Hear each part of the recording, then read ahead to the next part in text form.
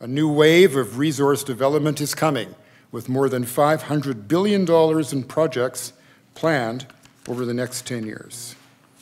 These projects remind us that Canada was built on investment and innovation in the natural resource sectors, and that we have a chance to create good, sustainable jobs and new economic opportunities for the middle class and those working hard to join it.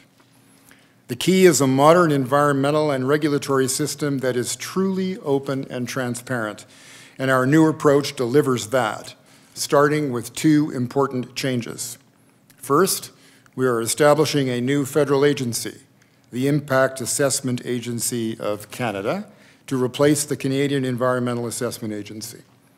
This new agency will work in partnership with federal regulators to deliver a single, consistent, and predictable assessment process for designated projects and coordinate upfront work and consultations with Indigenous peoples. It will look at how a project could affect not just our environment, but also communities and health, the rights of Indigenous peoples, jobs, and the economy over the long run.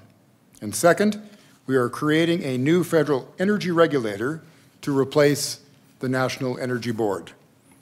The Canadian Energy Regulator will reflect Canada's changing energy needs with an expanded mandate to review traditional and renewable sources of energy. And for the first time, offshore renewable energy projects will be able to be built in federal waters.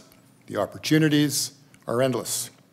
They will remain based here in Calgary and will have the required independence and the proper accountability to oversee a strong, safe, and sustainable Canadian energy sector for the 21st century.